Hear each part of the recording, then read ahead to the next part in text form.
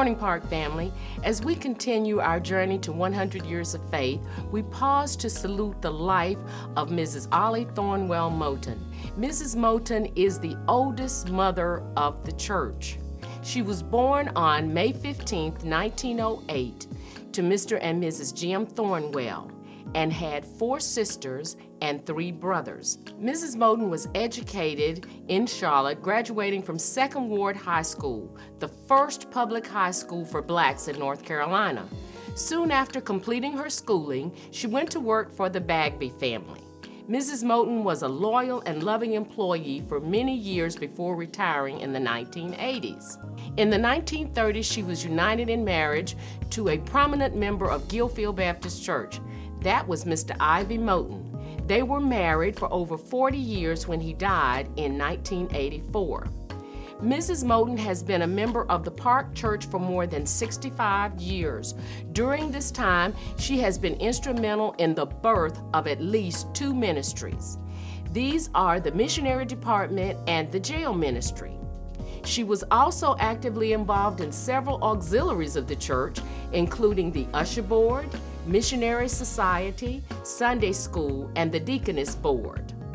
On May 15th, Mrs. Moten will be 105 years young.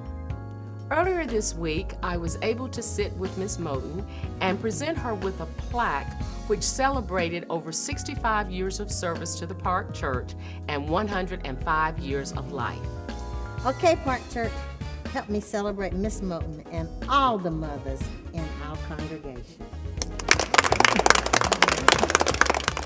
On this Mother's Day, we celebrate the life and legacy of Mrs. Ollie T. Moten, along with other mothers of the church who have played various roles in the growth of our church, which is almost 100 years old. Through their prayers, their service, their love for our pastor, we have been able to do ministry for almost 100 years.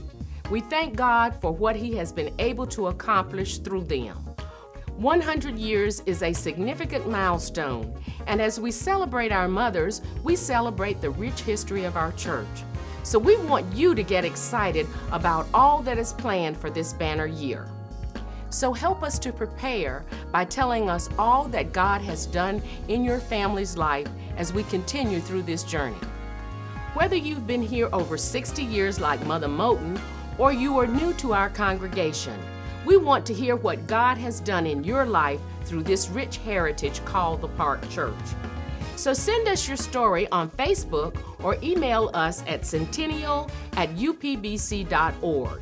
I'm Doris Wilson, and this has been our special Centennial Moment.